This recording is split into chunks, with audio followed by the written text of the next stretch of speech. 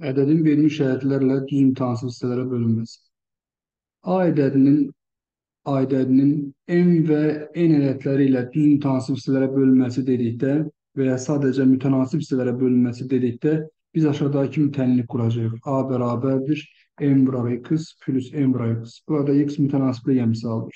Təkrarlayıq. A ədədini m və n ədədlərlə düz mütənasib hissələrə bölün dedikdə biz A bərabərdir m vuraq x plus m vuraq x tənliyini quracağıq. Məsələn, 360 ədədini 2, 3 və 7 ədədləri ilə düz mütənasib hissələrə bölün. Bəzi kitablarda və testlərdə düz də yazmırlar, sadəcə mütənasib hissələrə bölün yazırlar və bilin ki, elə bu düz mütənasib deməkdir. Bölün.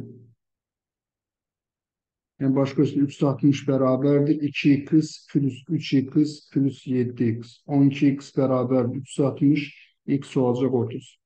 Birinci ədədim 2x olduğuna görə 2-ni 30-a vuranda 60 eləyir. İkinci ədim 90 eləyəcək. 3-ü 30-a vuranda. Üçüncü ədim isə 7-ni 30-a vuranda 210 eləyəcək.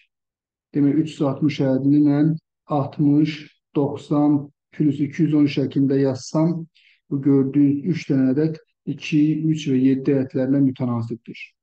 Yəni 60-ın 2-yə nisbəti, 90-ın 3-ə nisbəti, 210-un 7-yə nisbəti bir-birinə bərabərdir. Yadınızda düzün mütənasib kəmiyyətlərdə nisbətlər sabit qalırdı. Cavabımız oldu 60, 90 və 210. Növbəti videoda görüşərik.